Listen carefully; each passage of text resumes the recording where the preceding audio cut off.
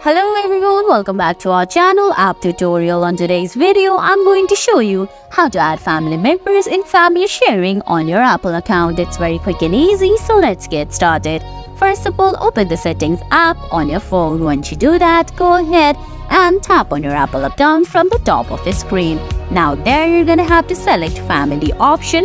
Then on the top right corner, you're gonna see an add icon. Tap on it. Then in couple seconds, you can see you can choose family member from the suggestions or simply go ahead and tap on invite others, then send the family invitation.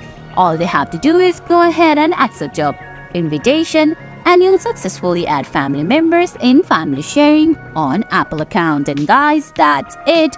That's how you add family members in family sharing on your Apple account. I hope you found this video helpful. If you did, please give it a thumbs up, leave a comment, subscribe to our channel and hit that bell icon. See you in the next video. Thanks for watching.